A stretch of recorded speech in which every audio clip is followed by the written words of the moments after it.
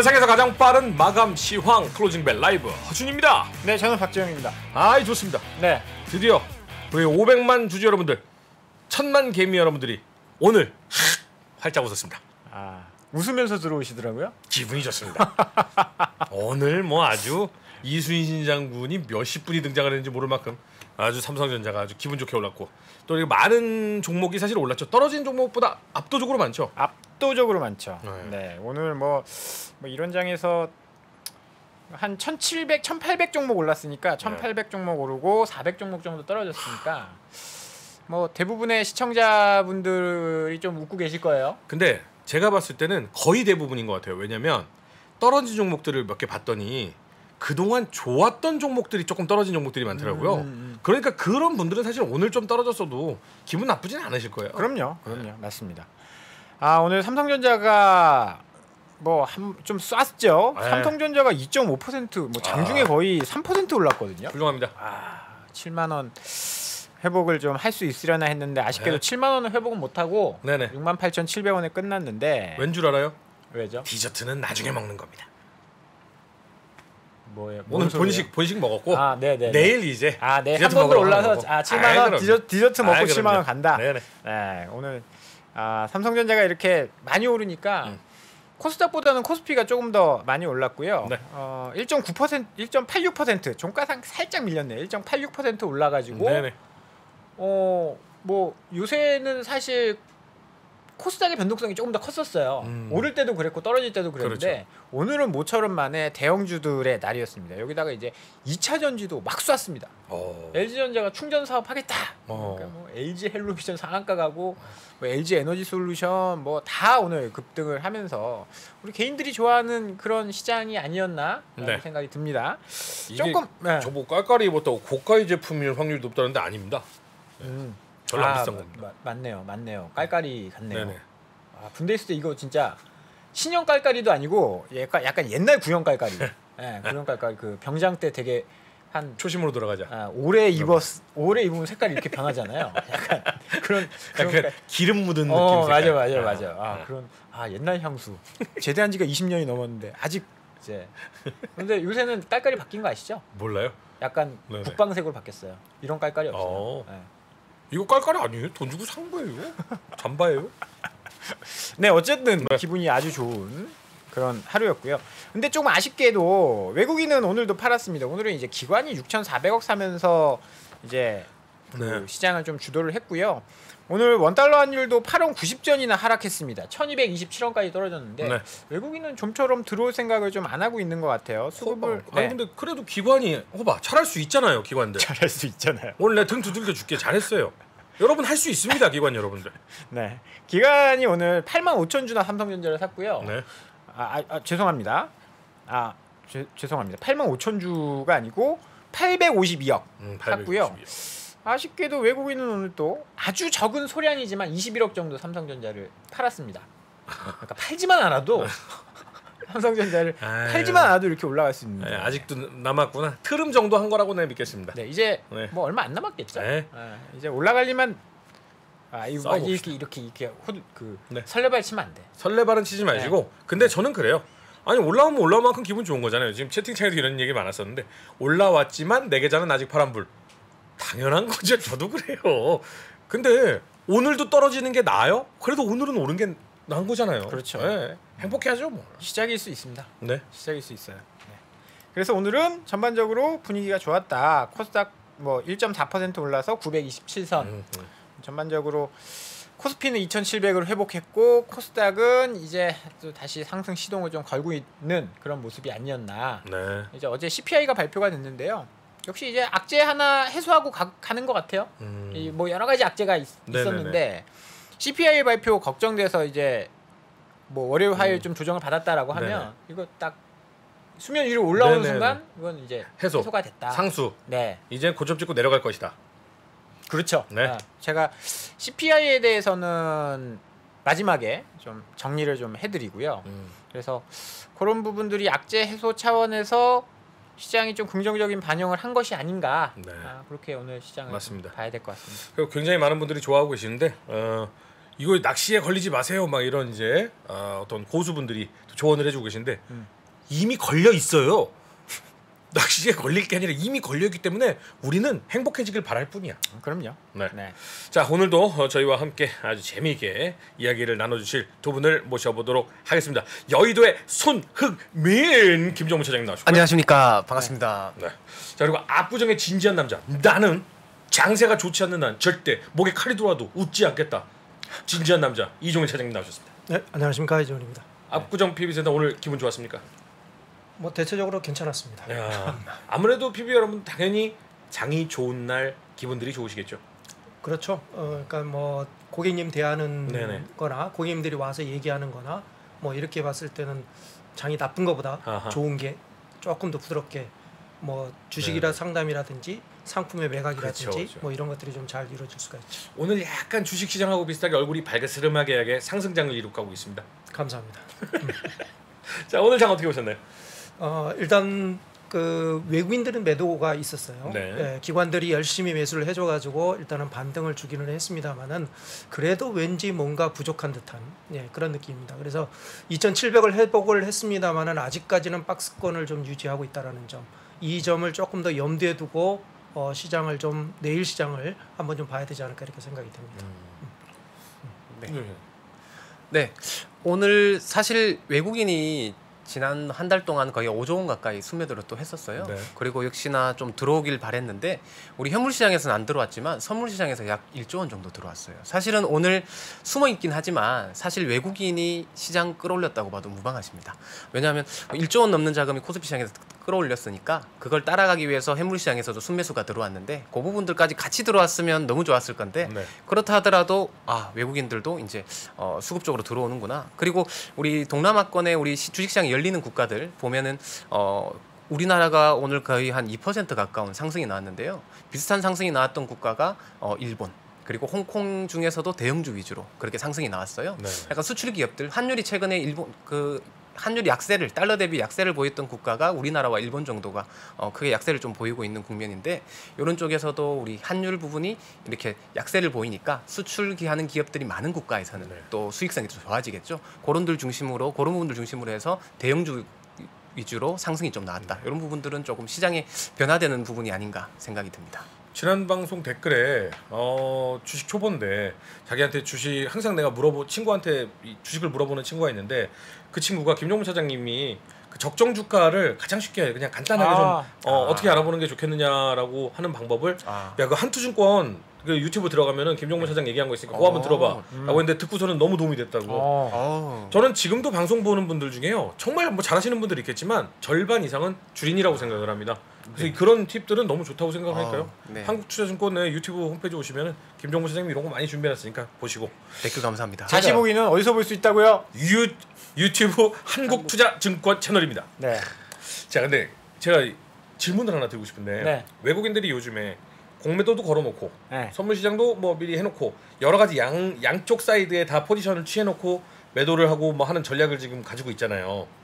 그러면 만약에 공매도를 쳐놓은 상황에서 오늘처럼 삼전이 쭉 올라. 네. 그러면 어? 근데 short cover 들어와야 되고 막 이런 거 있잖아. 네. 네. 그러면 우리 개미 1,100만이 똘똘 뭉쳐. 네. 그리고 기관이 못된 짓을 안 해. 어. 가지고 있어. 그러면 네. 아무도 안 팔면 네. 공매도 친 사람은 어떻게 되는 거예요? 그때 예전에 코덱스 코넥스에 상장되어 있는 어떤 음. 기업이 정말 네. 어마어마하게 올랐었던 기업. 그 약간 음. 작전처럼 해가지고 네네네. 그런 경우 그래서 뭐 쇼코버 해서 갚아야 될 돈이 뭐 2천억이다. 네네네. 그렇게 되면 공매도 친 사람들 다 죽는 거죠. 그래서 뭐 저기 헤지 펀드 하나 뭐 거의 그렇죠. 맞. 예, 예. 그럴 수 있습니다. 뭐 그러면 우리 개미들이 똘똘 뭉쳐서 그렇게 하면 그거 불법이에요? 안 팔면? 안 팔면 불법은 아닌데 어 그렇게 해서 똘똘 뭉칠 수가 있을까요? 이심전심. 아 그게 이- 이신전심으로는 괜찮아요. 저는 이심전심. 이게 나의 동- 개미 투자의 마음. 2020년도에 그랬었잖아요. 어. 2020년도에 삼성전자가 오를 때 정말 이신전 이신전 전심 어, 이렇게- 이심전심. 음. 그래서 단합된 마음으로 이제 주가를 팍 어. 올라갔잖아요. 어. 근데 이게 만약에 우리 막 이렇게 방송에서 여러분 삼성전자 팔지 맙시다. 뭐 이렇게 합시다. 이렇게 되면 그거는 담합이나 이렇게 약간 문제 아, 문제가 있기. 때문에 음.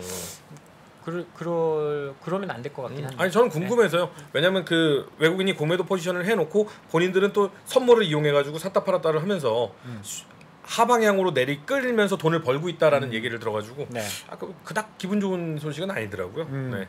자 그러면 우리 어, 두 분에게 오늘 장 그리고 내일을 우리가 어떻게 대비해야 되는지 키워드를 통해서 한번 확인을 해보도록 하겠습니다. 키워드 공개해 주십시오. 아 참 고생이 많다 한자 찾아내려고. 아, 마중지봉이라고 네. 네, 김정부 차장님 써주셨고요. 이종희 차장님은 시선 뭘 보고 있느냐 이거 어, 어. 눈을 얘기하는 시선인 거죠. 시선 네. 시선 맞습니다. 네. 시선 그럼 오늘은 시선 먼저 들어볼까요? 우리가 이제 저기 손흥민하고 케인하고 잘 맞지 않습니까? 네. 지금 아, 좋죠. 오늘도 축구 40개를 얘기네요. 예, 40개를 서로 주고받고 하고 있었고요. 네. 뭐 저는 케인이고 손흥민입니다. 네. 아, 예. 어제 그 그젠가요? 손흥민이 헤드트릭을 기록했을 때 아, 두 번째 골을 한번 여러분들 보셨는지 모르겠어요. 어, 두 번째 골은 이제 케인이 손흥민을 찾았습니다. 손흥민을 보고 어시스트하면서 손흥민이 들어가면서 골을 넣은 아주 꿍짝이 잘 맞은 네. 그런 골이었다라고 생각이 됩니다. 그러니까 시선, 시야 이런 것들이 상당히 중요하거든요. 축구에서도. 네. 어, 일단 시선이라는 것은 어느 곳을 바라보느냐라는 거고요. 시야라는 거는 얼마만큼 볼 수 있느냐 이거거든요. 네. 그러니까 여러분들은 조금 넓게 봐야 되는 거고요. 좀 깊게 좀 봐야 되는 거고요. 시선이라는 거는 어느 쪽을 봐야 되느냐. 오늘 이제 외국인들의 어떤 움직임, 외국인들의 어떤 시선 이런 것들이 과연 어떻게 됐을까? 음. 아, 이제 시장의 어떤 뭐 개미 여러분들도 물론 투자를 하시고 시장의 하나의 어떤 매수 주체로서의 어떤 등장이 있지만은 그래도 그 외국인들이 우리나라에서 한 30% 정도밖에는 없지만 그래도 영향력은 굉장히 크지 않습니까? 그래서 이 외국인들의 시선이 어떻게 돼 있는지를 일단 한번 봐야 이 한국 시장에 대한 흐름이 아, 더 추가적으로 올라갈 수 있을지 아니면 여기서 그냥 단순히 반등해서 끝날지 그런 것들을 한번 또 챙겨볼 수 있지 않을까 생각이 됩니다. 오늘 아까 말씀드렸다시피 외국인들은 선물 시장에서는 매수를 했습니다만은 어, 우리 현물 시장에서는 역시 매도 우위를 보였다라는 점 네. 이것이 약간 좀 껄쩍지근한 예, 음. 그런 어떤 느낌이 좀 있었습니다. 그래서 어, 이 시선, 그러니까 오늘 대형주 중심으로 해서 상승세가 물론 나왔고요. 지수의 반등폭도 컸습니다만은 외국인들은 아직 한국 시장에 대해서 그렇게 긍정적으로 보지는 않고 있다라고 볼 수가 있습니다. 아, 우리가 이제 인플레라는 어떤 큰 벽이 있습니다. 아, 우리 FMC가 금리를 인상하고요. 그다음에 러시아의 어떤 전쟁 때문에 지정학적 리스크가 부각이 되면서 그에 따른 원자재 가격도 올라가면서 이것도 역시 인플레 에 부합하는 그런 흐름이라고 볼 수 있습니다. 그래서 이러한 지정학적 리스크와 그다음에 금리 인상, 그다음에 나머지 하나가 리오프닝에 대한 이야기, 요 세 개가 아직까지 크게 요 범주에서 벗어나지 못한 그런 측면이 있거든요. 근데 외국인들은 어, 이러한 어떤 리스크를 어, 위험 시장을 아직까지는 들어갈 수 있는 그런 시기는 아니다라고 일단은 느끼는 것 같습니다. 어, 우리 한국 시장을 보통 이제 신흥 시장, 보통 이제 위험 자산 축에 속하지 않습니까?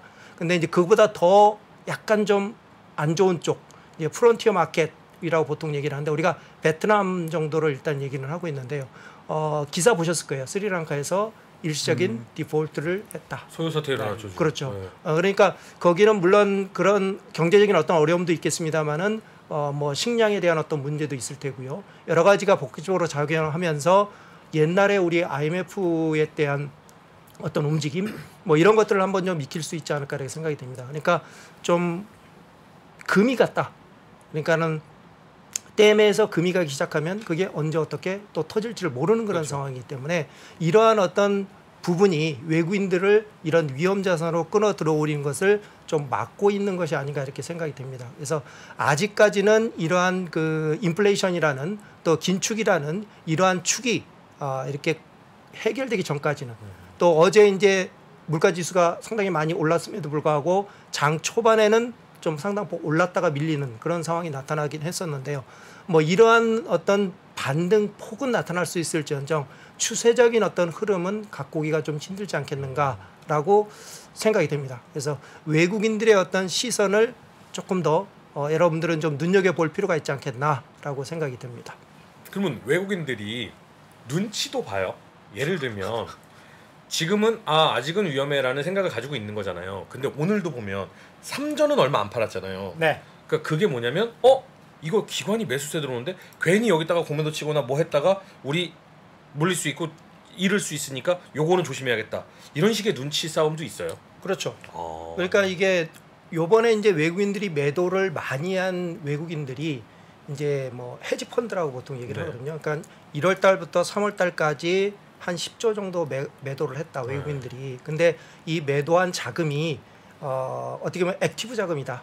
빨리빨리 움직이는 네. momentum play를 하는 그런 자금이었다. 그래서 영국계 자금, 뭐 저쪽 뭐 네덜란드, 뭐 우리 버진 아일랜드, 케이만 군도 뭐 이런 어떤 그 조세 회피 지역에 네네. 있었던 그런 어떤 그 헤지 펀드 계열이 상당히 많다. 네. 이렇게 얘기가 나왔었거든요. 근데 우리가 얘기하는 어, 외국인 자금 하면은 미국계 자금은 일단 중요시해야 된다라고 얘기를 합니다. 그, 그 미국계 자금은 약간 좀 passive, 그러니까 추세적인 어떤 움직임을 쫓아가는 그런 자금이라고 얘기를 하는데요. 그 자금들은 한 2조 원 정도 매수를 했습니다. 어. 예, 그러니까 어, 단기적으로 봤을 때는 우리가 외국인들이 많은 것을 매도한 걸로 보이지만 네. 예, 결국에는 그 passive적인 어떤 움직임은 아. 아직까지 한국 시장에 좀 긍정적으로 좀 남아 있다. 그렇군요. 그렇죠. 그러니까 약간 좀 어, 외국인이라 그래서. 다 같은 똑같은 외국인이 아니다. 그렇군요. 예, 이렇게 생각을 하시면 될 것 같습니다. 조세 포탈 지역이나 뭐 이런 데서 이제 이렇게 앞, 앞잡이처럼 이렇게 움직이는 그쪽은 조금 팔았는데 그렇죠. 듬직하게 뭐 사들이는 쪽은 어, 아직까지 우리는 나쁘지 않게 보는데라는 느낌으로. 그렇죠. 그러니까 이게 지었다. 유수나 재료나 우리도 이제 여러분들도 막 그런 거 있으실 겁니다. 유수 아니면 호가 이런 거 보면서 이렇게 오락내락하면 뭐 네네. 팔아야지 사야지 막 이렇게 하는 그런 저희가 있을 네네. 겁니다. 근데 그런 것들보다는 약간 좀 느긋하게 한 발 뒤에 곁에 느릇 뒤에 가서 한번 생각해보고 어허. 접근하는 거 그런 어떤 외국인들의 어떤 passive 자금 이런 것들을 좀 주목을 해봐야 되지 않을까 생각이 듭니다. 이 영국계 자금은 나가는 게 좋아요. 영국은 그 예전에 신항로 개척 시대 때부터 네. 어디든 들어가면 그 나라가 좀 망가져. 아, 예. 제가 별로 그쪽 안 좋아합니다. 그러니까 뭐 나라를 싫어한다는 게 아니라 네. 그런 어떤 자국한테는 굉장히 이득이 되지만 음. 현지국한테는 마이너스인 거잖아요, 사실은. 그쵸, 네, 친화력이죠. 그, 그런 거는 우리나라 사람으로서 음. 네. 요 오늘 이종현 차장님 되게 좋은 이야기 해주셨는데 어, 너무 좋았어요. 이런 것도 이제 팩트 체크가 필요하죠. 어허. 어떻게 하는지 알아야겠죠. 어허. 그래서 이제 그 방법을 또 알려드리도록 우리나라는 외국인 투자자는 등록을 하게 되어 있어요. 아, 그래서 외국인이라고? 외국인 수급 동향은 다 어. 파악이 됩니다. 네네 사실 그런 것 때문에 MSCI에서 선진국 지수 하려면 이것 좀 없애라. 없애라 막 그러고 있거든요. 어, 그렇지. 내가 거래하면 바로바로 등록 네. 들통나면 하기 싫지. 네. 그런데 그걸 어디서 볼 수 있느냐? 금융감독원 홈페이지에 들어가시면요. 오. 매월 한 두째 주 정도의 전달 거를 어허. 알려줍니다. 이번 이번 달에도 이제 11일 날 나왔거든요. 네. 따끈따끈한 자료인데 요거 한번 좀 보여주시면요. 오, 너무 좋다. 이종찬 말이 딱 맞아요. 네. 정확합니다. 뭐 그러니까 틀린 말 하시, 하시진 않았었겠지만 지금 아, 그러니까 자료가 자료로 보여준다는 거죠. 네. 야. 여기 보시면 국가별 상장 주식 순매수 동향을 보면 영국, 룩셈부르크, 어, 영국 같은 경우에는 지금 3월에 1조 7천억 원, 2월에 1조 2천억 원, 1월에 2조 3천억 원이니까 이게 오. 얼마예요? 5조, 6조, 한 6조 정도 영국에서만 팔았네요. 오. 영국에서만 6조를 팔았어요. 음. 야. 사실 뭐 이거 이거를 보면 약간 뭐 몇 가지 유추를 해볼 수 있는 게 아까 그 네네. 헤지펀드 이야기도 하셨지만 그러네요. 영국 지금 좀 힘든 상황 아닐까요? 유럽이 유럽이 굉장히 힘든 상황. 그렇죠. 요, 그러니까 가장 위험하다라고 하는 곳이 지금 위협 유럽-. 유럽이고. 네네. 그래서 그런 것들 때문에 뭐좀뭐 돈을 찾아가는 그런 것들도 있을 것 같고. 파운드가 오를 것 같아? 아 그리고 얘들은 뭐 이렇게 아까 이야기하신 것처럼 유럽계 자금은 이제 장기 투자 자금이라고 잘 안 보기 때문에 음. 우리가 주목해봐야 될 건 이제 미국계 자금은 이제 3월에도 한 1조 정도 들어왔다. 그래서 좀 긍정적인 생각을 좀 해보고 네. 그리고 제가 숙제남에서 아 그때 없었나? 숙제남에서 했잖아요. active 자금 지금 빠져나가고 있는데 passive 자금이 맞아요. 들어오고 있다. 네네네. 아, 그래서 그런 것들 이제 외국인만 좀 들어오면 시장이 어느 정도 좀 반등을 해주지 않을까? 네네. 그렇게 좀 봐야 될 것 같습니다. 그러니까 저는 뭐 우리 개인 투자자 여러분들의 어떤 마음, 심리 이런 거에 그냥 조금 기분 좋게 해드리고자 네. 가끔 추임새나 애드립이 센 점 양해를 좀 부탁드리겠습니다. 근데 네. 어쨌든 네. 이런 얘기를 들으니까 조금 마음이 안정이 된다라는 생각이 드는데요. 맞습니다. 야 이름도 어려워. 마중 지봉. 마중 네. 지봉이 뭐예요? 마 이게 여기 밑에 적어놨죠. 인삼밭의 쑥이라는 얘긴데요. 그러면 아, 이제 초 마중? 네, 마중. 지봉. 지봉. 예, 쑥봉자입니다. 이 봉자가. 아. 네. 어려워. 그러니까 쉽게 생각하시면 쉽게 말씀을 좀 드리면 어, 그 말씀드리기 전에 혹시 만유 인력의 법칙을 누가 말씀하셨는지 아십니까?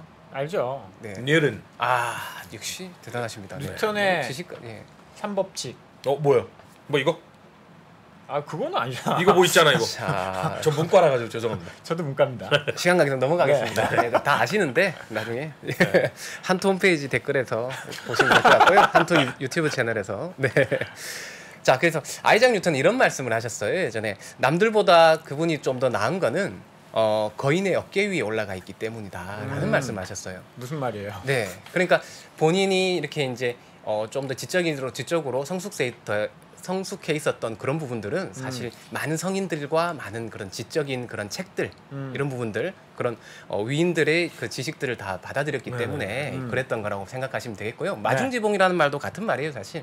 인삼밭에서 자라나는 쑥은 굳이 손을 대지 않아도 잘 곱게 잘 자란다 아. 그런 이야기입니다. 아. 네. 아 그러니까 엎혀가라. 그렇죠. 아. 적당히 옆에 가라. 예전에 아. 이제 저도 말씀드렸던 그런 청학동 같은 스타일의 음. 이야기이기도 한데 그래서 오늘 같은 날을 사실 좀 기다렸습니다. 어, 수- 수급적으로 어느 쪽의 시장의 이익이 늘어나는 쪽, 전 세계적으로. 그리고 오늘 쪽 오늘 업종별로 보면 사실은 여러 가지 업종 중에서도 수출 관련된 업종들, 조선주라든지 그리고 우리 IT주 관련된 주식들, 어 그리고 정유주들 그런 수출 관련된 업종들 그런 기업들 이익이 늘어나는 그런 기업들에서 주가의 상승 텀들이 좀 더 크게 나왔는데요. 어, 간단히 그것 관련해서 일단은 거인의 어깨 위에 올라타는 방법. 그 중에 사실 요즘에 제일 어느 분의 어깨 위에 타고 싶습니까? 저, 저, 네. 저요? 어, 요새? 보통 네 요새 버핏- 저는 좀 보고 있는 게 네. 네. 약간 미용 쪽. 아, 아, 진짜 진짜로 요걸 그냥 말 그대로 네. 우리 개인 투자자의 수익만을 생각하고 얘기할게요. 아, 어, 네. 잠깐 지금 얘기하는 어깨에 올라타려고 네. 하면 어, 어. 거인이 누구냐? 거인이 아. 누구나 투자의 대가. 당선인 아닐까? 아유, 큰일 났네. 아니에요? 워렌 제가- 버핏. 예, 맞습니다. 제가 아, 위대한 워렌 반 역시? 예. 반은 아. 워렌 버핏이었어요. 사실은 작년까지 재작년까지 워렌 버핏 어르신 얘기는 거의 없었어요. 어. 예, 왜 없었냐? 성과가 별로 안 좋았거든요. 어. 재작년에 이제 캐시우드였죠. 그렇죠. 캐시우드 누나. 캐시우드 누나, 우리 또 테슬라의 우리 그 형님하고 네. 그런 분들의 지금 다 회자되었었는데 결국에는 워렌 버핏 그 우리 스승님께서 어, 지금 많이 회자가 되고 있고 버크셔 해서웨이도 계속 신고가 스- 그럼 들어가고 있습니다. 그래서 그런 분들의 그런 insight를 어떻게 보느냐? 뭐 정프로 어깨 위에 타시면 안 됩니다. 큰일 나요. 큰일 나죠. 징징댑니다. 아, 정프로 어깨 타면 이제 어깨 춤 추죠. 그렇죠. 네. 타산지석 삼으기에는 좋으시죠. 네. 아 죄송합니다. 네. 이어서 빨리 네. 또 본론으로 좀 들어가서요. 일단 오늘 시장 관련해서 간단히 조금 정리 잠깐 도와드리면요. 어, 지금 역시 러시아에서 어, 푸틴은 평화협상이 막다른 길로 가 있다. 그래서 전쟁 지속 의지가 시사를 했고요. 그리고 미국이 또 우크라이나에 9천억 상당의 무기를 추가 지원한다는 그런 이슈가 있었습니다. 그래서 역시 LIG 넥스원은 그리고 우리나라 방위산업주 역시 재차 상승세가 나왔고요. 그리고 또 하나 어, 우리 세아제강이나 동국제강들 어, 그리고 S-오일 이런 기업들은 역시 이제 물가 인상 그리고 어, LNG 선 관련된 그런 부분들 여러 가지 이런 부분들에서 어, 오늘도 좋은 양호한 흐름들이 나왔었고요. 앞서 어, 박 차장님 말씀 주셨듯이 LG 전 LG 전자가 전기차 충전 사업을 차세대 먹거리로 선정하면서 어, 전기차 충전 서비스 하고 있는 LG 헬로비전 이런 기업들 그리고 에코프로 BM 이런 거는 또 화재가 발생했는데 오창 생산 공장이 또 재개가 했다는 그런 이슈들 그런 이슈들로 또 상승 흐름들이 나왔고요. 에코프로비엠이나 그, 그 외적으로 만도와 한국 타이어 앤 테크놀로지 이런 기업들도 자동차 관련해서 또 좋은 호재성 지수들 어, 이야기들로 주가 상승이 나왔고 역시나 이제 쌍용차 관련해서 계속 등락하고 있는데요. 이 쌍방울에서 또 바톤이 이어나, 이어나가면서 KG 그룹 관련해서 그리고 코미코라는 관련된 기업들 주가 변동성이 굉장히 커지고 있습니다. 쌍용차 관련된 기업들은 조금 조심해 줄 필요가 있을 것 네. 같고요. 이 바이오주들에서는 어, 한미약품은 호재성 제, 그 라이선스 계약으로 어, 강세를 보였고 반면에 일동제약은 뭐 세무조사 그리고 어, 치료제 개발 차질 이런 부분들로 또 주가가 좀 하락했던 하루였습니다. 자 그러면 요 간단히 정리를 도와드렸고요.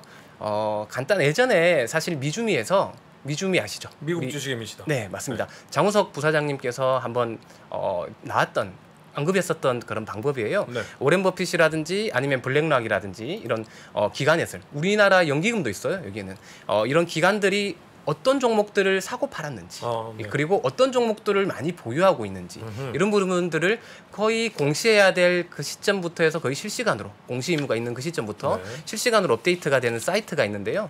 어, 그 사- 관련된 사이트는 제가 한국투자증권 유튜브 채널에 댓글로 링크를 걸어 놓을 테니까요. 네. 한번 봐주시면 되겠고 좀 더 깊은 내용을 알고 싶다 하시면은 어, 장우석 부사장님의 그런 유튜브 채널 그 음. 미주미 채널에 가셔서 또 들어보시면 될 것 같습니다.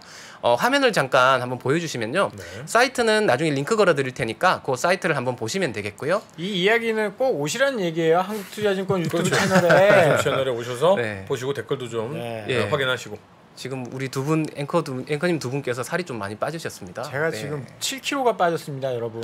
다이어트는 내가 하는데 당신이 빠져요. 우리 둘이 합쳐서 어, 한 저도 한 7kg 빠졌어요. 어이구 네네. 몇 킬로 빼기로 했죠, 우리? 15kg. 15kg. 근데 네. 벌써 7kg 뺐어요? 아니 근데 7kg 상황에서 지금 한, 한 줄을 그대로 가고 있어요. 음. 정책이 정책이. 지금 15kg 빼면 저희가 커피 천 잔 쏩니다. 근데 네. 천 잔을 어떻게 쏠지는 이제 뭐 나중에 네, 나중에 방법은 이제 한국투자증권 한국투자증권 댓글 유튜브 채널에서 네, 쏩니다. 그러면 화면을 네. 한번 보여주시면요. 어, 사이트는 여기 위에 제일 위에 나와 있고요. 종목은 종목이나 그 기업들 티커를 여기 입력하시면 되는데 음. 버크시에서에는 BRK 뭐 A나 B 입력하셔도 이렇게 나오기도 합니다. 네. 일단 이 사이트를 그대로 제가 링크를 걸어드릴 거고요. 어, 보통 이제 번역 서비스가 있죠. 번역 서비스를 눌러보시면 휴대폰 모바일로도 다 번역이 다 돼 있어서 웬만큼 다 이해가 가실 거고요. 음. 여기 보시면은 어, 지금 작년 연말 기준으로 공시가 되고 있습니다. 우리나라 기업들도 어, 작년 한 해 그 결산하는 그런 공시 내용들은 3월 달에 결산 공시가 나오고 있어서 지금 제일 최신의 공시라고 보시면 되겠고요. 그래서 가장 많이 샀었던 다섯 종목들이 이렇게 소개가 돼 있습니다. 이, 이거를 클릭하고 들어가시면 좀 더 상세한 내용들이 들어가 있으니까요. 한번 더 이쪽에 들어오셔서 한번 보시면 되겠고 보시게 되면은 쉐브론 그리고 누홀딩스 이거는 브라질의 어, 우리나라 K뱅크 같은 카카오뱅크 어. 같은 그런 인터넷 요즘 은행입니다. 브라질 좋다고 하더니 그렇죠. 어. 네. 그래서 그쪽에 있는 요- 요 최근에 지난 분기에서 작년에 샀었던 그런 어, 종목이 되겠고 그리고 액티비전 블리자드 다들 아시는 그런 기업들이 들어가 있고요. 어, 팔았던 기업들 여기 애브비, 브리스톨 마이어스, 비자, 테바 이런 뭐 바이오주들을 좀 팔긴 했네요. 그리고 여기에 제일 하단 부분에 있으면 어떤 종목들을 들고 있는지 최고 많은 비중들을 들고 있는 비분, 비중들이 이렇게 나와 있어요. 어, 제일 애플. 많이 들은 게 역시 애플이죠. 애플. 네, 애플이고 어, 그다음에 비, 어, 뱅크 오브 아메리카 그리고 어, 그 아메리칸 익스프레스, 코카콜라 이런 종목들이 있고 포트폴리오를 제대로 한번 보시려면 요 종목들은 크게 변동 사항들은 없었어요. 그리고 애플 비중은 거의 절반 가까운 비중들을 아직 가지고 있기 때문에 사실은 어, 작년에 어, 특정 분기에서는 비중을 줄였어요. 어, 비중을 줄여도 굉장히 많은 비중이 애플에 들어가 있으니까 이렇게 애플 많은 비중들을 보시면 되겠고 비중이 어떻게 변동되었는지도 여기에 다 나옵니다. 일단은 비중 순위로 해서 이 랭크 보이시죠? 랭크에서 비중 순위가 나오게 되겠고요. 어, 여기 밑에 보시면은 역시 옥시덴탈 페트롤륨이 어, 와, 비중이 굉장히. 많이 늘어났죠. 네. 그리고 그 밑에도 쉐브론 또 비중을 또 늘렸습니다. 어. 이렇게 비중 조절까지도 나오고요. 그래서 어떻게 보니까 거의는 이렇게 미리 이런 상황들을 좀 예견을 했는지 이런 종목들이 있었고 네. 이게 작년 말 기준에서 올해 얼마나 올랐는지 주가 한번 관심 있게 한번 찾아보십시오. 해외 주식들 관련해서 조금 놀라시기도 하실 겁니다. 그래서 좀 거인들의 동향에 대해서는 조금 관심 있게 보시면 좋을 것 같고요. 그리고 여기 보시면은 뭐 KR 이거 우리나라 아닙니다. 그 소비재 요 비중을 조금 줄였던 것들이 있고 어, 관련된 기업들이 비중을 줄였던 그 기업들도 이렇게 다 어, 소개가 돼 있으니까요. 시간 되실 때 꼭 한번 들어가셔서 이렇게 한번 체크해 보시면 여러분들이 어, 좋은 거인들과 함께하는 그런 insight를 키우실 수 있는 자료가 될 것으로 생각이 됩니다. 네, 거인의 오- 어깨에 올라타실 분들은 확인하시면 되는데 이건 저희 유튜브 어, 네. 한국투자증권 우리 저희 방송 댓글에 고정란에다가 네. 제가 댓글로 링크 달아놓을 테니까요. 가서 한번 확인을 했으면 좋겠 조, 좋을 것 같고요. 아, 우리 여의도 손흥민 어, 김종문 차장님의 어, 거인의 어깨에 올라타라. 뉴트는 주식해서 망했죠. 아, 너무 오래전 아니 그. 주식이 인생의 전부는 아니잖아요. 그래도 굉장한 업적 그 물리 아니 여기는 주식 방송이라는 얘기지. 그래. 예, 그 예. 왜 지금 마감 시황 우리 마감 시황 하는데 왜 해외 주식 얘기하냐고 그. 거인의 거장의 그 조언을 별로 안 들으셨던 것. 그러면 네. 그러면 그리고 지금 오렌 뭐- 버핏 스승님도 그 위에 스승님 벤자민 그레이엄이시고요. 네, 뭐 다들 그 있으시죠. 언행 불일치였던 거지. 거인의 어깨에 안 올라타고 아, 본인이 거인인 줄 알았어. 거지. 어, 본인이 거인이야. 너무 그때 당시에는 주식의 위인들이 없으셨으니까 음, 네. 이제 지적으로 이제 뭐 과학적인 뭐 이런 그런 쪽에 뭐 대가시죠. 예. 이건 지금 우리 시장 마감 시황이니까 네. 이렇게 끝내면 안 되고 맞습니다. 우리 시장 것도 조금 말씀드리겠습니다. 아 그래요? 네. 아, 그래, 아까 이- 이제 버크셔에서 보고 아 약간 투자 아이디어를 우리 시장에서 얻으시면 되고, 하면 네. 뭐 어느 쪽이 좀 괜찮을 것 같다. 뭐 그 부분을 생각이- 지금 예 제가 요 주간 단위로 제가 그 어. 우리나라 기업들 음. 어, 어닝스 가이드 어닝스를 실적들을 제가 소개해드리고 네. 있잖아요. 네. 이번 주 거 또 준비를 해왔습니다. 그 부분 보시면 오늘 올랐던 종목들과 거의 유사하고 음. 개- 제 개인적인 사- 생각으로는 향후 시장의 방향성도 일정 부분 보여주지 아, 않을까 생각을 하고 이제 있습니다. 꿈틀 움직였으니까 여기서 고개를 팍 쳐든 애들이 아무래도 향후에도 더 좋을 가능성이 높다. 네, 한번 네. 보시면 좋을 것 같고 제가 화면 한번 또 준비를 했습니다. 한번 보시면요. 어, 지금 제가 준비한 화면은 전 세계에서 진, 또 지난 한 주 동안 업종별로 이익이 늘어나는 그런 섹터를 제가 준비를 해왔어요. 에너지네. 예, 역시 에너지와 비철금속 오늘도 우리 S-오일 관련된 기업들, 음. S-오일 그리고 어, 세아제강, 동국제강 이런 기업들이 어, 주가가 많이 올랐죠. 역시 관련된 부분들이 순이익 전망치가 계속적으로 늘어나고 있고 이게 거의 월간, 주간 계속 이런 흐름들이 계속 나오고 있어요. 반면에 그 외적인 기업들은 또 전 세계적으로도 이런데 이게 우리나라까지도 같은 흐름이 나오고 있습니다. 그리고 개별 종목 단으로도 한번 보여드리도록 하겠습니다. 자, 제가 페이지를 준비를 해왔고 한국 시- 주식 시장에서 이익 동향들 여기 뭐 이익 전망 섹터들은 크게 뭐 다르지가 않고요. 종목별로 보시면 역시나 우리나라 이익 전망치가 늘어나는 기업들 그리고 어 조금 하락하는 기업들 디테일하게 맞진 않지만 그래도 어 조금 러프하게 봐주시면 되겠고요. 어 전체적으로 보시면은 뭐 이익 컨센서가 크게 두 자릿수 이상 바뀐 게 아니라면 어 유의미한 건 아니지만 그래도 이익이 늘어나고 있는 쪽은 어 역시나 뭐 철강주들 그리고 요 GS 화학주, 정유주 이런 기업들 그리고 비철금속 관련된 철강주 고려해연 이런 기업들이 대한제강 아 이거 대한제강 좋아하시는 분 계신데 그죠? 근데 이걸 보면서 느끼는 건데요. 사실 에너지, 화학, 철강 뭐 이쪽 이쪽은요.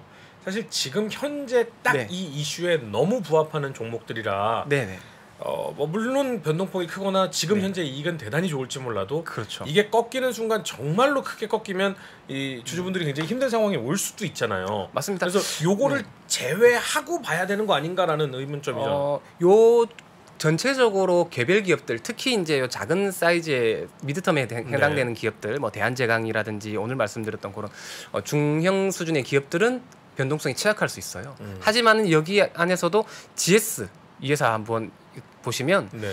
GS 정유기업과 계열사를 지주회사긴 합니다. 하지만은 그 GS 칼텍스가 안에 그 큰 이익을 네. 부담하고 있고요.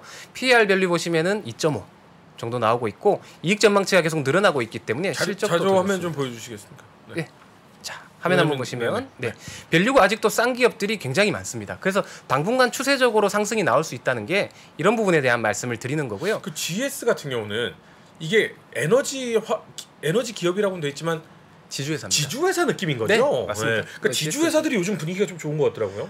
전반적으로 하지만 전좀 좀 길게 놓고 네. 주가의 흐름을 보시면 사실은 밑에 바닥권에서는 꽤 올라왔지만 전고점 대비해서나 그럴 때 대비해서도 작년 대비해서 실적이나 이익들은 늘어나고 있는데 네. 주가는 사실은 겨우 밑에서 이제 머리 들고 있는 그런 수준에 해당되는 기업들이 있어요. 네. 그래서 현 기업들의 위치까지도 한번 파악해 보실 수 있는 음. 그런 관점으로 어, 월요일 날 말씀드렸던 그런 방법과 같이 이런 부분들을 같이 참고해서 보시면 되겠고요. 좋습니다. 사실은 우리가 좀 유의미하게 봐야 될 것들은 이익 수준들이 급격하게 빠지고 있는 기업들 그리고 이게 두 자릿수 이상 크게 빠지고 있는 이런 기업들에 대해서는 조금 조심할 필요가 있다고 생각이 드는데요. 여기 보시면은 뭐 제이콘테트리 그리고 항공주들 역시 그리고 뭐 화학주들도 개별 기업 단에서는 이렇게 다르게 움직임이 나오고 있습니다. 그래서 이런 부분들 두 자릿수 대 가까이 하락이 나오고 있는 기업들은 조금 조심스럽게 볼 필요가 있겠다는 거죠. 그래서 종합적으로 비교해 보시면 되겠고요. 이런 부분들은 참고하시고 제가 제가 또 어, 정기적으로 계속 안내를 올릴 테니까요. 하나의 참고 자료로 봐주시면 좋을 것 같습니다. 참 아이러니하네요. 한국조선해양 같은 경우 오늘 폭등했잖아요. 맞습니다. 네네. 근데 참 이익이 두 자릿수로 빠지는데 폭등을 하는 상황은 예, 요거 주간 상승률 보셔도 괜찮아요. 아. 그동안 좀 빠졌어요. 음. 다른 기업들 좀 안정 찾고 이런 시장에도 스- 나홀로 소외받았던 기분 부분들이 있었기 때문에 뭐 선반영 부분으로 이해하셔도 괜찮지 않을까 싶어요. 네. 음. 전체적으로 value 수준들을 보면은 사실 싼 건 아니고요. 이익이 얼마나 늘어나느냐가 향후 관건이 될 것 같아요. 네. 알겠습니다. 네, 감사합니다. 근데 참 보면 제가 사람이라는 게 마음이 간사한 게 떨어지고 있을 때는 어쩌지 어쩌지 불안하다가 탁 하고 꺾이는 순간 막 사고 싶죠. 지금 이렇게 떨어져 있다가 하루 올랐으니까 네. 앞으로 뭘 사면 좋을까? 며칠 더 오르겠지. 안 사야지더라고. 어. 맞아요. 그때 그때 좀 조심하셔야 돼요. 네. 어. 개인들은 아마 많이 무슨 하실. 말씀 있는 것 같아요. 너 그러다 큰일 난다 이러면서. 아니, 안 됩니까 이런 마? 아니요 전형적인 주린이 생각인 것 네. 같습니다. 음. 예, 공감합니다. 네. 솔직히 제 얘기에 공감하시는 분들은 그냥 솔직히 뭐가 부끄러운 일 아닙니다. 다 공감할 거예요. 진짜 네. 공감- 뭐 여기서 부분입니다. 지금 아 나는 안 그래 그런 사람 네. 손들어 손들어 보세요. 저는 진짜 오늘 3전 더살 뻔했어요. 대체적으로 다 공감하는 얘기고요. 저희는 이제 고객님들 물어보시는 것도 다 똑같아요. 어. 예, 그 정도 수준에서 물어보시고 하니까 뭐 대답을 해드리는 건데 어, 일단 뭐 시장 내부적으로 아까 이제 종목별로 뭐 이렇게 얘기를 했습니다만 내부적으로 오늘 움직이는 어떤 흐름 이런 것들을 한번 좀 점검을 한번 네. 해보겠습니다. 음. 예, 화면을 잠깐 좀 보여주시면은요. 어, 오늘 움직이면 이제 중소형주보다는 대형주들이 상당히 많이 올랐습니다. 그리고 보면은 어, 우리가 보통 얘기하는 전통적인 산업 또 굴뚝 산업이라고 얘기하는 것들 그런 것들을 상당히 많이 올라온 그런 모습을 좀 볼 수 있습니다. 어, 이거는 역시 이제 기관들의 어떤 움직임이었다고 좀 볼 수가 있을 것 같은데요. 어, 전기 전자 쪽에서 보면은 LG 에너지 솔루션이 오랜만에 올랐고요. 삼성 SDI 어, 이렇게 보면 이제 우리 2차 전지 관련주들의 움직임이 있었습니다. 그래서 2차 전지 이제 다시 또 시작하는 건가요? 라고 아까 여쭤보시는 분들이 계시는데요. 글쎄요. 2차 전지는 어, 어떻게 보면은 매수 관점으로 지속적으로 가야 되는 그런 산업이라고 보입니다. 네. 성장성이 분명히 담보돼 있는 그런 부분이 있기 때문에 분명 중간중간에 노이즈가 분명히 있을 겁니다. 그러나 그 노이즈에 연연하지 말고 조정 시에는 매수 관점으로 접근하는 게 일단 유효하다라고 볼 수 있고 그렇고 네네. 삼성 SDI 같은 경우는 지속적으로 매수 어, 관심을 좀 말씀을 드려왔었습니다. 오늘 이제 2차 전지 관련주들이 올라간 이유는 아마 현대차 정의선 회장님께서 미국에 가셨죠. 네. 그래서 뉴욕 3천 오토스인가 거기서. 예, 그래서 3,600억을 투자하겠다. 네. 이렇게 말씀을 하셨습니다. 그래서 그거에 따른 어떤 모멘텀이 2차 전지에 좀 불어든 것이 아닌가 이렇게 생각이 됩니다. 오늘 중소형 전기차 관련된 종목들도 대거 급등했더라고요. 그렇죠. 예. 근데 저는 저렇게 보면 와 모네 수련 이딴 거 안 봐요. 저는 저 그림이 너무 예뻐 저렇게 빨간 그림. 네, 아름답네요. 네. 예, 그리고 최근에 이제 LG 전자가 좀 움직였어요. 네. 예, LG 전자가 오랜만에 움직여주는 그런 모습인데 보통 이제 저는 그렇게 말씀을 드리죠. 어, 대형주의 신저가는 매수다 이렇게 오. 말씀을 드립니다. 근데 이제 삼성전자도 오늘 신저가에서 올라왔죠. 올라왔죠. 삼성전자 예. 5일째 신고, 신저가였어요. 신저가 그러니까 신저가가 근, 매, 신저가가 나타나거나 네. 신저가에 근접하거나 그러면은 그 기업이 특별한 어떤 하자가 없는 한은 매수 관점으로 접근하시는 게 어. 유효하다라고 보입니다. 음. 근데 LG전자 같은 경우도 이렇게 이제 뭐 휴대폰이라든가 기타 적자 사업 부분 다 정리하고 오늘 이제 뭐 또 충전 사업 한다 이런 얘기 했지 않습니까? 그래서 아마 이 LG전자가 이 전장 부품 쪽으로 특허가 굉장히 많다 그래요. 어, 그래서 맞아요. 애플하고 좀 연결된 것이 아니냐. 그래서 이익도 한 5천억 원 이상 더 크게 나타난 그런 또 모습이 애플이에요? 있었죠. 그렇죠. 그러니까 그거는 확인되지 않았기 때문에 아직까지는 뭐 그런 흐름이 바닥권에서 나왔다라는 점에 일단은 주목을 해볼 필요가 있습니다. 근데 이종일 차장님 가드 잠깐만 올려주시면 음. 제가 삼성전자에 대해서 우리 그 개미들의 어떤 이야기 쭉 나왔을 때 아. 그래도 나는 버틸 거예요. 어 나는 뭐 새로 살 거예요. 막 이렇게 얘기를 했을 때 그때 신저가 뚫고 내려가면 사라는 말씀 안 하셨던 것 같은데. 아니, 그러니까 신적 대형주의 신저가는 네. 매수다. 난저 지난번에 말씀드렸어요. 사라고 하셨어요? 예, 신저가 대형주의 신저가는 매수다. 그날 저는 그렇게 신, 관점에 예, 동의해 주셨습니다. 예, 그렇게 아, 말씀드렸어요. 귀를 닫았네 내가. 예. 왜 사람은 자기가 듣고 싶은 것만 듣거든요. 어, 좀 풀스윙 하려다가 이렇게 맞았네 나. 어, 아 이게 그런 어 근데 확실하게 만약에 삼성 신저가에 떨어지고 나서 신저가 딱 뚫는 거 보고 사신 분들은 오늘로서 다 그냥 이익을 되셨을 것 같은데. 근데 그렇게 단기적인 시각으로 보시면 안 되고. 아 그래요? 예, 어쨌든 신저가가 근접을 하거나 어, 뭐 네. 어제 신저가에 사신 분들은 물론 기분이 좋겠죠. 네네. 어, 내가 딱 맞췄다라는 네. 그런 기분. 그런 것들보다는 신저가가 왔으니까 한번 접근을 한번 해봐야 되겠다. 어. 이렇게 생각을 가지고 서서히 접근을 하셔야지 오. 그냥 낼름 이렇게 사버리면은 그게 또 아닐 수도 있거든요. 아, 신저가가 아닐 수 예. 있다. 그러니까 항상 신저가를 확인하는 그런 작업이 분명히 필요합니다. 그러면 음. 확인은 뭐예요? 그러니까 제가 이 여기서 아까 물어보고 싶었던 게 뭐냐면 뚫고 내려갔을 때 개미들한테 항상 우리 개인 투자자 여러분들한테 항상 하시는 말씀이 발 끝에서 살 생각하지 마라. 맞아요. 그렇죠. 무릎까지는 올라와서 살아라고 맞습니다. 했는데 네. 오늘 팍 한 방에 무릎까지 지금 올라온 거 아닙니까? 굉장히 많이 올라왔잖아요. 이게 어디가 무릎이에요? 어디가 그 무릎이야? 특정 어디가 무릎? 뭐, 뭐뭐 7만 5천 원 돼서 사요 그러면? 어디가 무릎이에요? 아 그 그걸 확인하는 방법을 알려달라는 거죠, 저는. 그러니까 지금 어떻게 그거는 확인할 수 있는 거는 기본은 돼 있잖아요. 삼성전자가 어디 비빌 언덕은 분명히 있다란 네. 말이죠. 이게 비빌 언덕은 있고 그거를 판단하기 위해서는 기술적으로 접근할 수밖에 없거든요. 네. 기술적이라는 거는 후행할 수밖에 없습니다. 네. 오늘 일단 긴 양선을 하나 뽑아냈어요. 네 뽑았죠. 예. 근데 이게 곧바로 우리가 뭐 8만 원, 9만 원 가겠다 그렇게 생각을 안 하지 안 않습니다. 하죠. 그렇죠. 이- 어쨌든 외바닥입니다. 네. 외바닥을 하든 아니면 쌍 그다음에 쌍바닥을 찍든 삼중 바닥을 찍든 아니면 저점을 높이든 분명 그런 흐름이 나타날 겁니다. 그래서 오늘 만약에 매수를 못했다 안타깝다라고 생각하실 필요는 전혀 없습니다. 일단 은 올라갔다 조정을 분명히 받을 거예요. 어, 되게 슬픈 얘기를 아무렇지도 않게 하니까. 네. 뭐가 뭐가 뭐가 슬픕니까 그게? 어차피 정확한 진바닥을 찾아서 가는 그런 과정이니까 네. 그렇게 너무 우려스럽게 생각할 필요 없고 걱정하실 필요는 없다라고 저는 음. 말씀을 드리는 거고요. 그, 그 성질 급하신 분들은 지금부터 들어가셔도 저는 무방하다고 아, 생각합니다. 무방하다. 분할 매수. 네. 네. 네. 네. 좋습니다. 저도 좀 말씀을 좀 드리면요. 네. 한 가지 팁을 좀 드리면 대형주가 저점에서 크게 올라갈 때 사실은 주식은 오르는 날보다 내리는 날이 더 많아요. 우리가 좋을 때 치에 있다 보니까 좋은 기운 기- 생각을 많이 하시는데요. 근데 어, 내리는 날이 더 많은데 오를 때는 또 급격하게 오르는 경우도 있습니다. 아, 네. 하지만 이 급격하게 오를 수가 있지만 거래 그 가능성이 굉장히 높은 그 가능성은요 거래량을 보시는 것도 좀 네, 좋은 네, 방법이에요. 오늘 같이 이렇게 장대 양봉을 세운다. 네. 정말 뭐 어저께만 샀어도 아랫개만 샀어도 네, 표준한가요 아랫개가? 네. 아랫개는 네. 못 알아듣는 사람이 아, 예. 전국에 한 3천만 있을 것 같아요. 죄송합니다. 제가 표준어를 요즘에 쓰고 있어서. 그저께 그저께? 그저께입니다. 네, 오, 아랫개. 네, 저희 경상도에서 네. 그래서 월요일 날 만약에도 월요일 날 사셨어도 네. 되는데 너무 아쉬워서 못 사는 경우가 있는데 이번 같은 경우 오늘 같은 경우는 거래량이 그렇게 평균 거래량보다 안 많지 많았어요. 않았어요. 네. 네. 이럴 때는 조금 가능성이 어, 다시 살 가능성도 있다라고 아. 보시는 것도 한 방법이고 네. 정말 조심해야 되는 거는 주가에서 큰 방등이 올 때 거래량이 터지는 거. 한 일주일 한 달간 몇 달간의 거래량이 장 장대 거래량과 장대 양봉은 조심하도 조심하시고 조금 매수에 가담해야 된다. 정말 사야 될 기업 아, 그러니까 같은 경우 그게 조심하라는 말이 급등할 어, 수 있다. 이거는 거래량이 많아지면 이제 다시는 못 올라탈 수 있으니까 그거는 주의 깊게 보고서는 맞습니다. 들어가는 들어가려면은 마음을 먹고 들어가라. 경험적으로는 그랬습니다, 제가. 네. 아니 근데 지금 이런 말씀하시는 분들인데 어 떠먹여 달라고 한다. 네.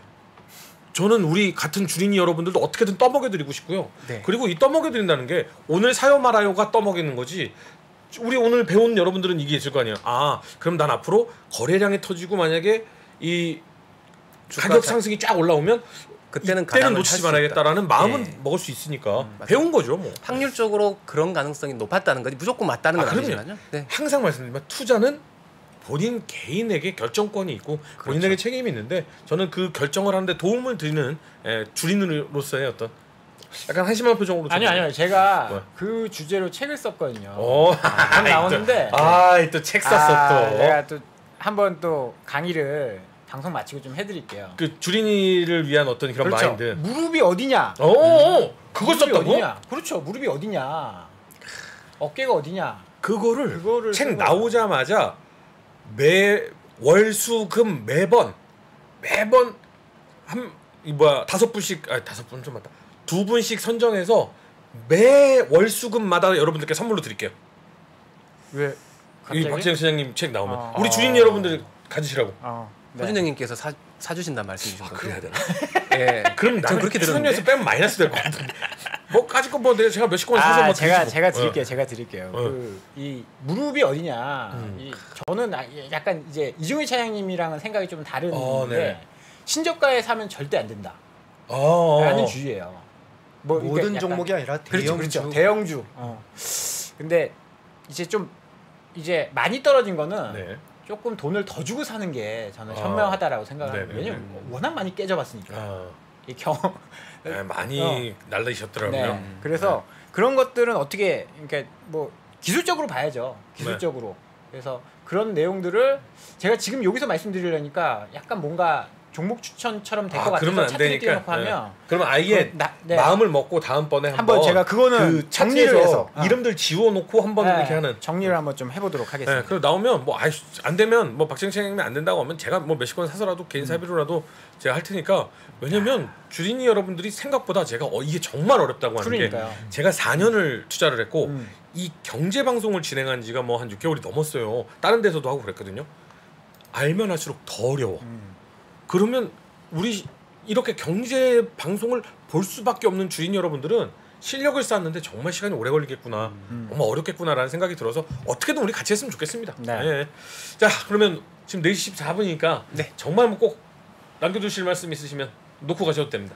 아 지금 아, 아까 신저가 안 된다 그래서 화나신 거 아니죠? 이재민 아니, 지금 대형주의 경우에 그렇죠. 대형주의 경우에는 신저가로 내려갔을 때는 굉장히 주의 깊게 봐서 투자를 할지 말지를 결정하는 게 좋은데 그렇죠. 그러면 대형주로 갈수록 더 그런가요? 그러니까 대형주 중에서 큰 대형주와 중간 대형주 막 이렇게 있다고 치면 그런 게 있나요? 중간 예를 대응 들어 아니 예를 들어 삼성과 뭐 하이닉스는. 차이가 네. 많이 나잖아요. 네. 뭐 약간 그런 느낌. 중형주? 대중형.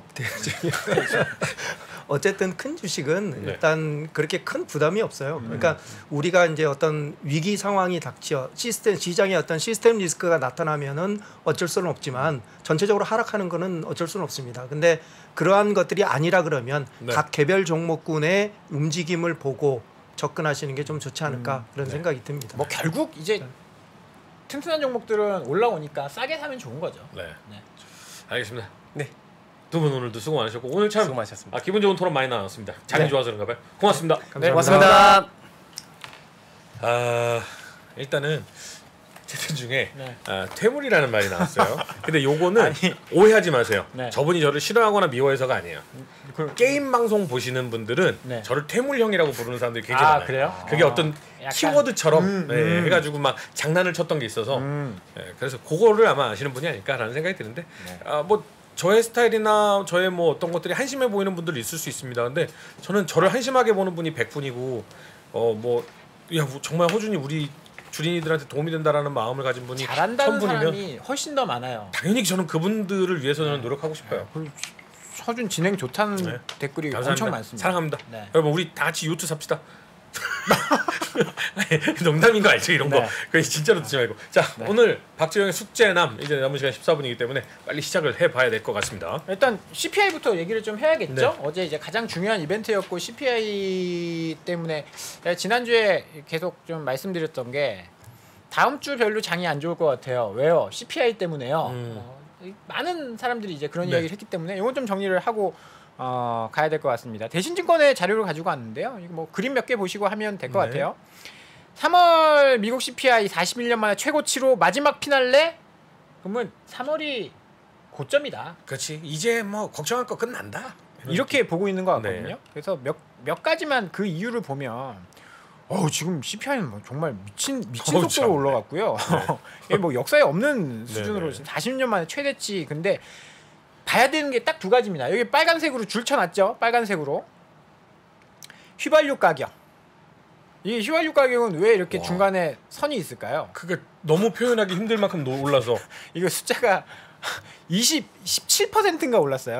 와. 전월 대비해서 이게 전쟁 때문에 그런 거거든요. 네네 그러면 사실 이게 계속될 거라고 생각하는 사람은 없을 겁니다 아마 네네 없을 거고 또 하나는 중고차 가격이 빠지기 시작했다라는 아 겁니다. 미국에서 중고차 가격이 네. 빠졌죠. 네. 네, 미국에서 중고차 가격이 빠진 게 사실 이게 좋은 거냐 나쁜 거냐 이거는 애널리 그 애널리스트마다 조금 약간 시각이 좀 다른 것 같아요. 아 네. 그런데 공통적인 거는 어 빠지고 있으니까 빠지고 있으니까 2월 달에는 휘발유 가격만 낮아지면 정상화될 거야. 근데 여기에 또 하나 붙여서 조금 걱정스러운 거는 중고차 가격이 왜 떨어질까? 왜 떨어진다고 생각? 중고차 가격이 오른 이유는 공급 병목 때문에 차를 못 구하니까. 앞으로 반도체 수급이 이제 원활하게 되면 신차를 살 수 있을 거야. 그러니까 중고차를 비싸게 주지 말고 한두 달 있다가 새 차를 사자. 음 그런 거면 참 좋겠는데 그런 거면 좋겠는데 그럴 수도 있고 아닐 수도 있는 거잖아요. 그렇죠, 그렇죠. 근데 시장에서 몇몇 애널리스트들은 어 이거 수요 둔화의 움직임 아닌가? 음, 뭔가 이제 음. 계속 너무 급하게 사고 싶으니까 중고차 가격이 막 급등한 거잖아요. 네. 새 차는 없고 네. 그런데 아이씨, 뭐 물가도 오르고 저축 제가 어, 어저께인가요? 저축률 보여드렸죠? 저축률이 이제 많이 떨어졌어요. 그 전에 막 20몇 퍼센트까지 올라갔다가 저축 모아둔 돈 모아둔 돈도 다 썼고 그 차는 좀 다음에 살까? 음. 이렇게 되는 게 아닌가라는 걱정을 하는 어, 애널리스트들도 있더라, 음. 있더라고요. 이건 좀 더 지켜봐야 되고 그러면 CPI가 어떻게 될 거냐? 이제 뚝뚝 떨어지는 거예요? 그건 아니다가 중론이었습니다. 네네. 왜냐하면 보면 서비스업 물가가 올라가고 있고요. 네. 주거와 관련된 물가가 여전히 고공행진을 보이고 있습니다. 네. 그런 항목별 기여도라는 걸 한번 좀 보시면요. 여기 보시면 당연히 유가 때문에 많이 올랐는데 그거 말고도 주거비, 주거비, 음식료품 이런 데가 쭉 오르고 있습니다. 지금 전쟁이 나서 네. 전쟁이 나서 사실 국제 물 가격 이런 것들 많이 지금 올랐잖아요. 네. 그리고 집값도 많이 올랐습니다. 네. 그리고 지금 모기지 금리가 오르다 보니까 어 집을 뭐 이게 사서 하는 이자 이런 네. 것들이 많이 좀 올라가다 보니까 물가 기여도에 사실 가솔린이 좀 떨어진다라고 하더라도 이 밑에 올라오고 있는 음식료품 주거비가 올라간다라고 하면 예전처럼 그렇죠. 2% 어림없다. 음. 그래서 지금 8%이긴 하지만 7%대 뭐 고공행진을 계속 좀 유지할 가능성이 당분간 있다라는 이야기를 전반적으로 하고 있고요. 그래서 물가가 피크아웃을 물가가 피크를 쳤다. 네. 뭐 사실 갑자기 또 전쟁이 막 크게 또 발발해가지고 그런 문제가 있지 한 네. 이제는 피크를 쳤다라고 보는 게 정상적인 시각 대부분의 음, 시야, 시각인 네네. 것 같고 여기서 조금 더 유출을 뭐 좀 해보면 어, 수요에 문제가 생기고 있는 거 중고차 가격이 이렇게 빠진다라는 것은 수요에 문제가 생기고 있는 것이 아닌가라는 걱정을 하는 시각도 좀 있다라는 게 이제 CPI 관련된 대부분 보고서에서 나온 네. 내용들이었다 라고 말씀을 좀 드리도록 하겠습니다. 일단 기본적으로 음, CPI에 가장 큰 영향을 지금 주고 있는 것은 네. 그 전까지는 코로나나 이제 물류 상황이었는데 네. 지금은 전쟁 상황인 거잖아요. 두- 뭐 그렇죠. 네. 근데 이 미리 말씀을 드리면 전문가 여러분들의 의견도 정말 많이 다를 수 있어요. 네. 그런데 그 어떤 의견이 옳다라고 말, 말할 수는 없고 나는 이렇게 생각한다라는 말을 투자자 여러분들이 듣고 판단하는 거잖아요. 네. 근데 저는 이제 항상 그 방송을 진행하는 방송에 맞는 MC가 되기 위해 노력하다 보니 저는 역사나 밀리터리 방송을 제가 아. 또 진행을 하지 않습니까? 전문가 아니십니까? 근데 가장 중요한 것 중에 하나는 마리오풀이거든요. 그래서 그러니까 지금 압도적인 화력으로 마리오풀을 둘러싸고 러시아가 이렇게 공격을 하고 있는 한국, 것인데 한국 네, 네 마리오풀 네, 그 네. 크림반도와 러시아를 잇는 네, 네, 그 네, 라인이거든요. 근데 어, 여기서 사실 굉장히 슬프지만 저는 경제 방송의 지금 MC이기 때문에 네. 도덕성이나 뭐 이런 것들은 일단 차처하고 전쟁 상황을 한번 말씀을 드리면 네. 마리오풀 함락은 러시아한테는 정말 목입니다. 그래서 이거를 놓치면 안 되기 때문에 무조건 이륙하려고 할 거거든요. 음. 그리고 전승기념일이 이제 러시아가 5월 9일이니까 네. 그렇게 따지자면 5월 9일 전쟁 끝나나요? 그러니까 한마디로 거기에 맞춰서 푸틴은 그거에 음. 맞춰서 계획을 세우고 있다라는 게 전문가들의 중론이에요. 안 그런 사람도 물론 있습니다. 음. 굉장히 크게 더 갈 수 있다라고 하는 분도 있는데 그렇게 따지자면은 한마디로 이것에 대한 악재가 어떻게 되느냐는 모르겠지만 마무리되는 시점은 그 정도 라인이 아닐까 늘 음. 많이들 생각을 하거든요. 그럼 약 20일 정도 이제 2, 30일 정도 남은 거잖아요. 그러면 우리 주, 주식을 투자하시는 여러분들이 거- 이것에 대한 걱정은 20일에서 30일 정도를 아 저쪽이면은 결판이 나라는 마음으로 좀 투자를 하시면 불안감에 시달리지 마시라고. 음. 예, 그러면 조금은 해, 이 뭔가 그때는 결론이 나지 않을까 맞습니다. 그런 얘기를 네 해드립니다. 빨리 끝났으면 좋겠습니다. 어찌 됐든 간에 네네. 뭐아 그러면요 어떻게 되든 정말요. 뭐 예, 뭐 질소 탱크가 터졌다느니 뭐 화학 무기 막 이런 이야기 아. 나와서 그뭐 뭐, 화학 무기 얘기 어. 나오고 그 또 막 요즘에는 이제 너무 간절해서 그런지 SNS에 가짜 뉴스 같은 게 음. 그래서 뭐 암살당했다라는 막 그 가짜 뉴스가 젤렌스키. 올라온 적이 있었어요. 어, 어. 아 젤렌스키가 아, 아니라 그거? 러시아 아, 쪽이. 아, 아, 예. 아, 푸틴 그러니까 좀 정말로 예. 그때 그때 4월 1일 날 만우절날 날 그런 거 많이 돌았잖아요. 그러니까 참 아, 이게 혼란의 시기다 나는. 음. 그래서 예전에 그 우리 영이 넷플릭스 드라마 중에 화살촉 있었잖아요. 아, 네, 네, 네. 약간 뭐 그런 혼란을 보는 것 같은. 음. 그래서 마음이 좀 너무 안 좋긴 한데. 음. 네, 어찌됐든 우리는 마음속으로는 항상 이 지지를 예, 우리 젤렌스키와 평화를 사랑하는 분들을 위한 지지를 하시고 투자를 위해서는 항상 마음을 곧게 가지시고 음. 예, 이런 다각화된 포트폴리오 마음 전략을 네. 가지셨으면 좋겠어요. 자 그리고 그래서 지금 어떻게 된다는 거예요? 그래서 어떻게 된다? 아, 일단 당분간은 큰 불은 하나 껐다. 걱정거리가 그러니까 하나 해소됐다. 모든 것은 이제 피크아웃 되고 나면 음. 사실 최악의 국면 그러니까 가장 어두, 어두울 때 네. 그럼 그 다음에 이제 새벽이 점차 오잖아요. 아. 그래서 단기적으로는 이제 5월 달 지금 이제 5월 이전에 물가 관련된 지표는 이게 5월 FOMC 전에 물가 네네. 관련된 지표는 안 나오거든요. 마지막 지표였기 때문에 네. 시장이 걱정하고 있는 이제 인플레이션 우려는 조금 단기적으로 잠잠해질 거다. 음. 물론 이제 다음 달 봐야 되겠지만 다음. 달 이제 FOMC 봐야 되겠지만 그러면서 어제 뭐 채권 금리 좀 떨어졌고요. 음. 시장의 우려는 살짝 하나 줄어들었다. 음. 어, 그렇게 봐야 되는데 또 하나의 우려가 지금 두 개가 남은 거네요. 전쟁과 중국. 어 그렇죠. 어 아직 근데 긴축이 시작 안 한 상황이라서 테이퍼링을 시작을 안 했잖아요. 근데 그건 했다 치잖아요 지금. 아 그, 그렇죠. 시장에서는 네. 이제 아, 이미 시작한 거야. 네. 쉬는 거라서 글쎄요. 그거는 이제 5월 FOMC 가봐야 중국이 이거 풀기 시작했던데 지금. 맞습니다. 네. 아 돈을 이제 이번 주 좀 중요한 네. 일이라서 그 얘기를 한번 좀 저 굉장히 돼. 충격적이었어요 그 말. 어, 왜요? 아니 중국이 돈 풀기 시작한다 이거 기다리는 투자자 정말 네 많았잖아. 맞습니다. 네. 그래서 어제 이제 중국도 좀 많이 올랐고 아 문제가 하나 좀 생겼어요. 아까 이제 이종희 차장님도 스리랑카 디폴트 이야기를 했는데 네네네. 치약골 치약골이가 있잖아. 어디 아. 어디든지 간에 어디든지 간에 시장이 뭐 이렇게 아, 좀 압력을 받기 시작하면 가장 먼저 이제 안 좋아지는 터져나가는 곳이 네, 있죠. 그런 신흥 네. 국가 스리랑카가 디폴트 선언을 했습니다.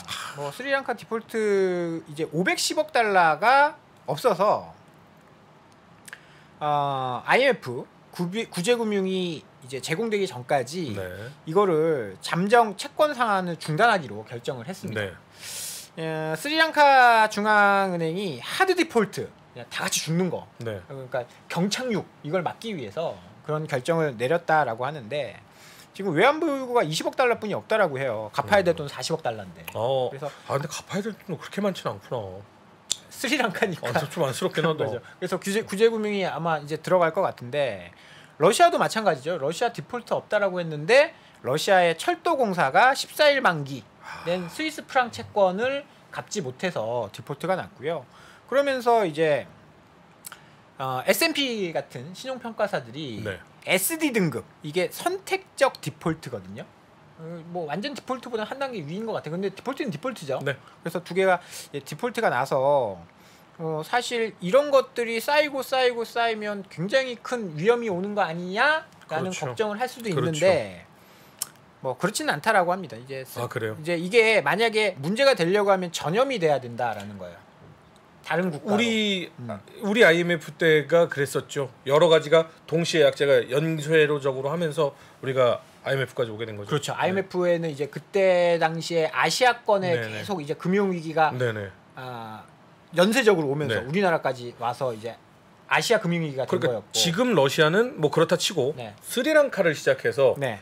요쪽이 사실은 생산 기지인 곳들이 많잖아요. 음. 그러니까 연쇄 디폴트를 걱정하는 분들이 분명히 많으실 것 같아요. 네. 왜냐면 이게 2010년 이게 식량 가격이 올라가서 이런 문제가 생겼다라고 아하, 해요. 네. 식량 가격이 이제 아랍의 봄 2010년 티니지를 시작으로 했었던 아랍의 봄 네. 이쪽과 유사하다. 아하. 그런데 지금 식량 지수가 뭐 계속 이야기를 드리지만 1996년 이후에 가장 높은 수, 수준이다.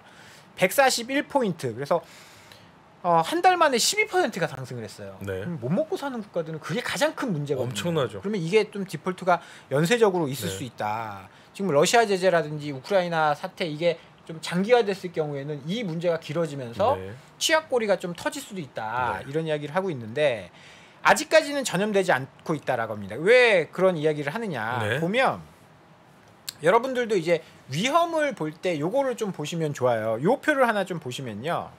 지금 달러 지수가 막 급등하고 있음에도 불구하고 아, JP 모건의 EMBI 스프레드 그러니까 신흥국의 추가 아, 그 가산금리 네. 예, 추가 가산금리예요. 예를 들어서 어, 스리랑카에 돈을 빌려준다라고 하면 이자를 얼마 받을 거예요? 뭐 한 50% 받아야 되죠. 그렇죠? 미국에 빌려준다라고 할한 때는 3%? 그렇죠. 네. 그 차이가 이 스프레드거든요. 아. 그런데 위기 때마다 이 스프레드는 급등했었는데 네네.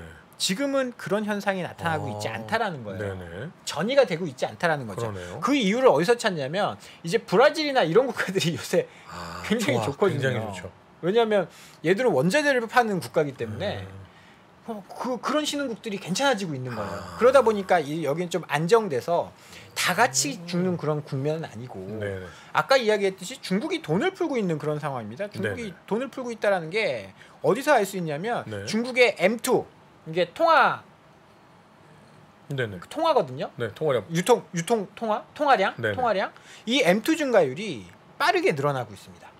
이게 지금 리커창 총리가 리커창 총리가 한 주 동안에 경제 위기란 말을 세 번이나 반복을 했어요. 오. 여기도 지금 약간 똥줄이 타고 있는 상황이에요. 어, 그렇죠.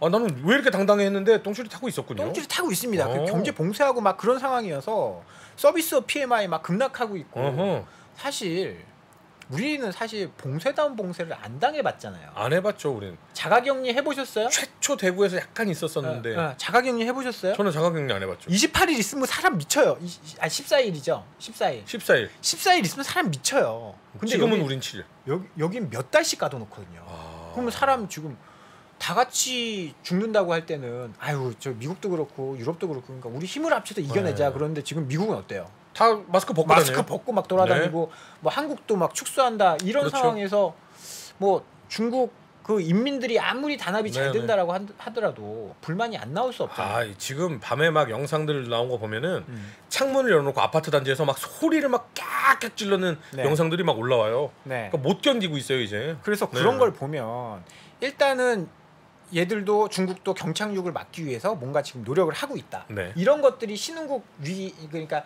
약간 이게 연쇄 위기로 이렇게 네네네. 가지 않는 그런 버팀목이 좀 될 수 있을 것이다. 네, 근데 지금 얘기를. 질문 중에 돈을 푼다는 건 구체적으로 어떻게 푸는, 푸는 건가요?라고 질문하신 분이 있는데 여기 보면 거죠? 어 아닙니다. 중국이 1월 달에 기준금리 낮췄어요. 기억하실지 모르겠지만 1월 달에 기준금리를 낮췄고 네.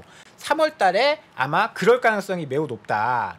어, 왜냐면요 이번 달에 어, 지금 중기 유동성 지원 금리라는 게 있어요. 네네. 중기 유동성 지원 금리를 이번 주에 결정하는데 아마 여기서 이제 그 금리를 인하하면서 음. 인프라 투자나 이런 것에 돈을 좀 쏴줄 가능성이 있다. 막 빌려라. 네, 어. 막 빌려라까지는 아니고 적당히 빌려라. 어, 좀 이제 빌려 가 써, 음. 써도 된다. 그 전까지는 금리를 계속 높이고 안 해줬거든요. 근데 제가 뉴스에서 어떤 걸 들었냐면 이 기업들한테 네. 너희들 회사채 발행해. 네 네 회사채 발행하면 음. 국가가 사줄게. 중국 그런 식이죠. 네. 네. 지금 그 얘기가 이미 나왔다는 거예요. 네, 맞습니다. 그 얘기는 무슨 얘기냐면 회사가 돈 필요해? 근데 회사채를 발행하면 회사채 안 팔리면 이거 굉장히 신용도 떨어지고 안 좋잖아요. 음. 근데 국가가 사주면 네. 발행하는 만큼 다 사주는 거잖아요. 그러니까 돈. 풀겠다는 거거든. 음. 그런데 그 그런 게 좀 디폴트 났었죠 작년에 헝다 사태. 아니 그러니까 그러니까 뭐 그런 아. 헝다를 그러니까 이게 100개의 기업이 있는데 한 개의 네. 기업이 부도났다고 해서 99개의 기업도 부도의 위험성이 있습니다. 이렇게 얘기할 수는 없으니까. 음, 네. 근데 지금 어떤 제재의 기조를 가지고 있었던 예, 뭔가 성장 위주보다는 이제는 안정 위주로 가지고 있던 중국이 이제 안 되겠다 이러다가는 하고 여는 기조로 슬쩍 바뀌었다. turn around 한다. 이런 느낌으로 이해를 해도 됩니까? 맞습니다. 네. 그 지금 이제 워낙 코로나를 쥐고 있으니까 이쪽은 좀 풀어주는 네네. 그런 느낌이라고 보시면 될 것 같아요. 그러니까 요거 좀 신경을 좀 쓰시고 진짜로 그냥 이것저것 한번 예, 좀이 지표들 우리나라에도 ETF 많거든요. 중국 네. 관련돼서 그렇고 한번 보시면 얼마나 많이 떨어졌는지가 보일 거예요. 음. 그러니까 그거를 투자에 한번 예, 아이디어를 삼아도 나쁘지 않을 거다라는 자료를 오늘 또 숙제를 통해서 우리 박재영 시장님 들어오셨습니다. 아 리추님이 늦게 들어오셨다는데요. 이거 끊깁니다. 끊기면 어떻게 해야 된다고요? 끊기자마자는 아닌데요. 잠시 후에 이 저희 한국투자증권 유튜브 채널이 있습니다. 거기에 가면 올라가는데 여기에 또 우리 김종무 사장님의 이 어떤 유용한 거라든지 이런 링크들도 고정 댓글로 저희가 확인을 해 놓을 거고요. 예, 그리고 어, 정, 박재영 사장님 책 언제 나온다 그랬죠? 아직 몰라요. 아 뭐야 빨리 마무리 줘요. 아니, 써, 써 쓰긴 썼어요. 빨리 마무리 줘요. 네. 그 마무리 짓자마자 저희가 매주 매주 여섯 분씩 월수금에 계속 뽑아서 이 투자 주린이 여러분들 도움되라고 예, 댓글 중에 뽑아가지고 선물을 제가 드리도록 하겠습니다. 그러니까 많이들 참여를 해주시면 고- 고맙겠습니다. 한투증권으로 고고. 네, 왜냐면 여러분 한 이런 프로가 계속 가야 되는데 한투증권에서 야 이건 뭐 댓글도 없고 이거 조회도 잘 안 오는데 말자 나가 그러면 어떡해요? 예, 많은 도움 필요합니다. 네. 도와주십시오. 시청해주신 여러분 감사합니다. 내일 저 말고 또 다른 분이 뵐 겁니다. 내일 뵙겠습니다. 감사합니다.